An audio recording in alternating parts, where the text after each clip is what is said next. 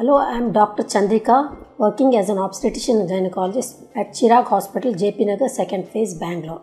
I also visit as a consultant in Malti Manipal Hospital, Jayanagar, 9th block, and Apollo Cradle Hospital, Jayanagar, 5th block. I also do visit Motherhood Hospital in Banshankari, second stage. Can the breast size be increased by use of oil or creams massaging the breast? Certain extent it is true, but it is not very much possible. So how does it act is when you massage the breast with these oils or creams, it is going to stimulate the fat and the other tissues under the breast and it may produce a hypertrophy of these tissues and so it increases the breast size.